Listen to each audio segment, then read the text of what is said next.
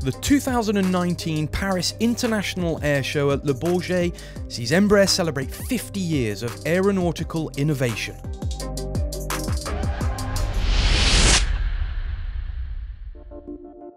The E195-E2 Profit Hunter has arrived at the Paris Air Show.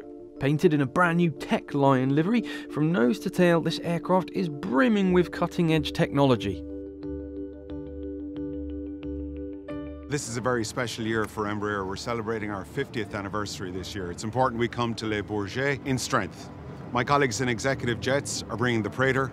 My colleagues in defence are bringing the Super Tucano and the KC-390. But in commercial aviation, we've brought the biggest aircraft Embraer has ever built the 195E2. It's the most efficient narrow body in the world. When we look at that marriage between cost per seat and cost per trip, the 195E2 is unequaled. Of course, we've kept the integrity of the 2x2 seats that we've had since 2004 in the original E-Jets.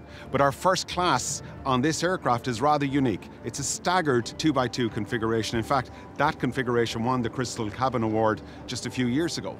It is the quietest narrow-body aircraft in the world not only in the cabin, but also outside. So kind to the passengers, but also kind to the environments over which we're flying. The mighty lion is the king of all hunters, a fitting symbol of this aircraft's ability to adapt to any operating environment, a true profit hunter.